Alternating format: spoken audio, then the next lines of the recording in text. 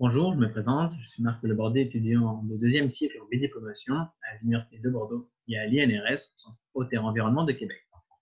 Je suis présentement une maîtrise en sciences de l'eau sous la supervision de Valérie Langlois. Aussi, membre étudiant de Ressources aquatiques Québec, je vais vous présenter mon projet de recherche en écotoxicologie aquatique.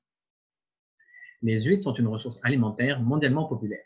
Elles ont une valeur écosystémique à l'état sauvage, comme dans les mangroves caribéennes où l'on trouve l'espèce Isonument alatus, mais elles ont aussi une valeur marchande importante, par exemple dans l'est du Canada où l'espèce Crassostrea virginica est cultivée.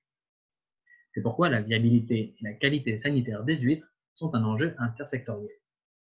En effet, comme les huîtres respirent et s'alimentent par filtration de l'eau, elles sont davantage exposées à de potentiels contaminants aquatiques. La contamination métallique est plutôt restreinte à des activités industrielles localisées. En revanche, la contamination plastique, elle, est ubiquitaire dans les écosystèmes aquatiques.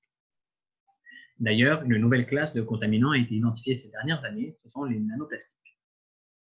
Les nanoplastiques sont des particules plastiques inférieures à 1 micromètre sont reconnues comme contaminants émergents. En effet, les nanoplastiques possèdent divers additifs nocifs qui sont utilisés dans leur synthèse comme les plastifiants. Et ils sont aussi capables d'absorber, c'est-à-dire de retenir à leur surface, des contaminants tels que les métaux. Considérant alors que les nanoplastiques peuvent traverser les barrières biologiques et interagir avec les contenus cellulaires, leur biodisponibilité représente un risque écotoxicologique. D'une part, les nanoplastiques pourraient agir comme des vecteurs qui facilitent l'entrée des métaux chez les organismes aquatiques filtreurs, et d'autre part, l'exposition de ces organismes aux métaux absorbés sur les nanoplastiques pourrait induire une toxicité combinée des deux contaminants. Pour vérifier ces hypothèses, nous avons donc mesuré la bioaccumulation d'arsenic un métal retrouvé dans l'eau, naturellement, en l'absence et présence de différents nanoplastiques à des concentrations environnementales.